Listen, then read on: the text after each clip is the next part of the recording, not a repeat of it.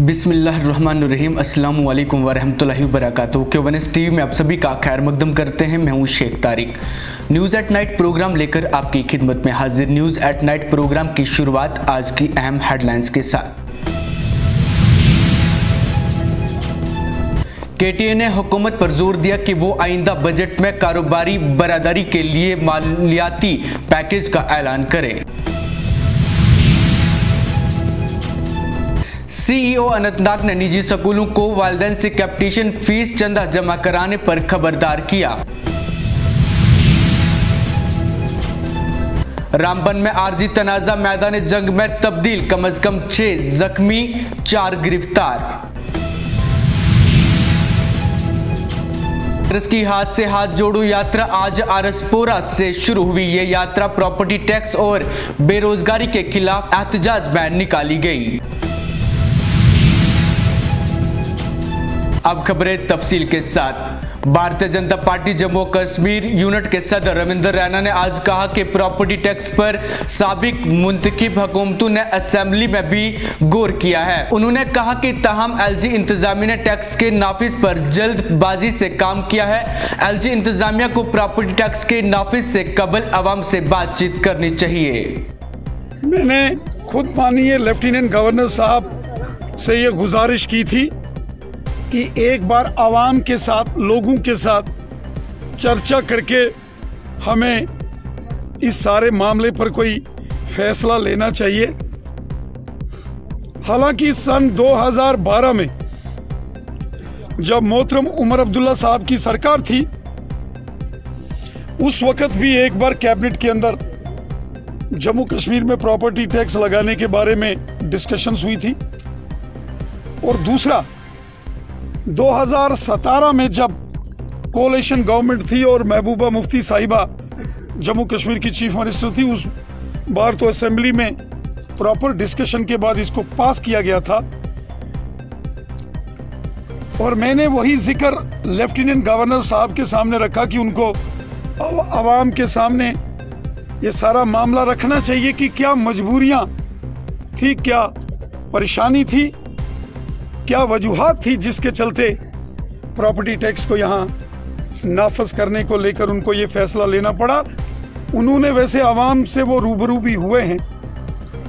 उन्होंने आवाम को खिताब भी किया है।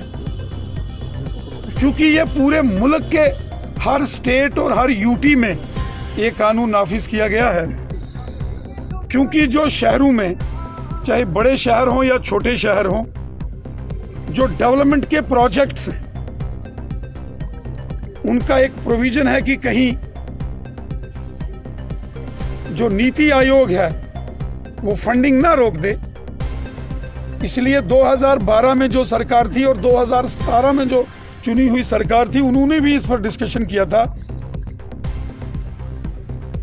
और अगर नीति आयोग ने शहरों की डेवलपमेंट का पैसा इस कारण अगर रुक गया कि ये कर व्यवस्था शहरों में लागू नहीं है तो बहुत बड़ा नुकसान शहरों की डेवलपमेंट को हो सकता है, जिसका ज़िक्र लेफ्टिनेंट गवर्नर साहब ने किया है। हालाँकि जो उन्होंने बताया था कि 1000 स्क्वायर फीट तक कहीं किसी को कोई टैक्स नहीं देना पड़ेगा मतलब शहरों के अंदर रहने वाले 40 परसेंट लोगों के ऊपर कोई टैक्स नहीं होगा।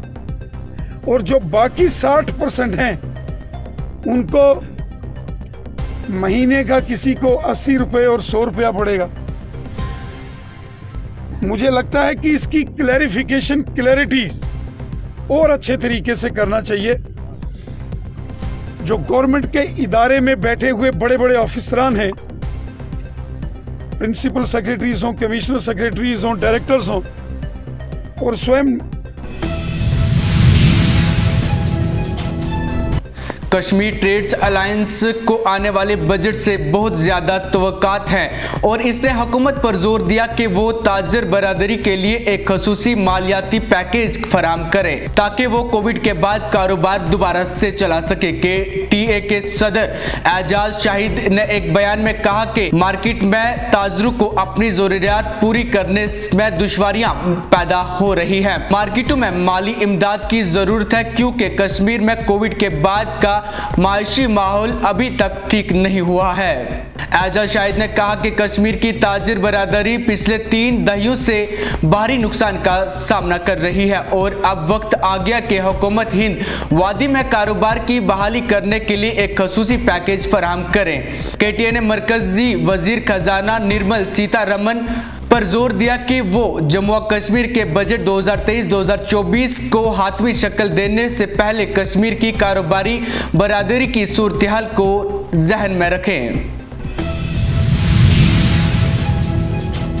साइबर पुलिस कश्मीर ने आज श्रीनगर में एक बेदारी कैंप का इनका किया, जहाँ उन्होंने 100 मोबाइल फ़ोन बरामद करके उनके मालिकान के हवाले किए हैं। आपको बता दें कि श्रीनगर में चोरियों के वारदातें सामने आई थी, जिसको लेकर साइबर पुलिस ने कंप्लेंट्स दर्ज की थी। उसके बाद साइबर पुलिस की जानब से कार्रवाई शुरू कर दी गई थी। वहीं आज साइबर पुलिस श्रीनगर ने एक बेदारी कैंप का इनका, किया। इस कैंप के दौरान 100 मोबाइल फोन्स बरामद करके उनके मालिकान को वापस कर दिए गए हैं। चीफ एजुकेशन ऑफिसर अनंतनाग ने जिला के प्राइवेट स्कूलों को आगाह किया है कि वो वालदेन की जानब से मुनद शिकायत के बाद दाखिले के वक्त वालदेन से चंदा और कैप्टेशन फ़ीस वसूल न करें। सीओ अनंतनाग के दफ्तर में शिकायत भी मौसू हुई थी। निजी स्कूलों ने असूलों के खिलाफ वर्जी करते हुए मखसूस किताबों की दुकानों पर निजवी कीमतें दस्तियाब रखी है। आपको बता दें कि दफ्तर में एक शिकायत मौसू होने के बाद सीओ अनंतनाग ने प्राइवेट स्कूलों को आगाह किया। सीओ ने तमाम तालीमी शुदा प्राइवेट स्कूलों को यह भी हिदायत की है कि वो वक्तन फवक्तन होने वाली हुकूमती अहकाम और स्कॉलर पर मुताबिक अमल करें। कोई भी निजी स्कूल सरकारी हुक्म और हक तालीम एक्ट 2009 के मुताबिक किसी भी किस्म की कैपिटेशन दाखिला फ़ीस या अतिया वसूल नहीं करेगा। सीईओ अनंतनाग ने मजीद कहा कि नई तालीमी पॉलिसी 2022 के मुताबिक छठी जमात से आने वाले तालीमी सेशन के लिए स्कूलों में मुश्तरका निसब होना चाहिए। उन्होंने ये भी कहा कि अगर स्कूली हुकूमती अहकाम के खिलाफ वर्जी करते हुए पाए गए तो उनकी शनाख्त खत्म कर दी जाएगी। प्रॉपर्टी टैक्स के नाफिज के खिलाफ आज चैम्बर्स ऑफ़ कॉमर्स की कॉल पर आज जम्मू मुकम्मल तौर पर बंद रहा। इस दौरान बंद की कॉल की हिमायत करते हुए युवा राजपूत सभा ने भी पुरअमन एहतजाज मुजाहरे किए। आपको बता दें कि जम्मू में प्रॉपर्टी टैक्स को लेकर 11 मार्च की कॉल दी गई थी। आज 11 मार्च को पूरा जम्मू बंद रहा, जहाँ पर कई सियासी पार्टियों ने भी जम्मू में प्रॉपर्टी टैक्स को लेकर एहतजाजी मुजाहरे किए। जिला रामबन के सकलदान बाज़ार में गंदगी के फैलाव से आम लोगों को काफ़ी मुश्किलों का सामना करना पड़ रहा है। बैतुल खला की सहूलियत न होने से आम आवाम को सख्त परेशानियों का सामना भी करना पड़ा। इस जिमन में आवाम ने मुकामी इंतजामिया से मदखलत की अपील की है कि ताकि आवाम को मुश्किलों का सामना ना करना पड़े। वाजिद बशीर खान ने अपनी पूरी टीम के हमरा डिवीज़न मैंडर के हाई कोर्ट का कंडी सड़क का इफ्ताह किया। मौके पर Bharatiya Janata party spokesperson Sutesh Kumar Sharma भी मौजूद रहे।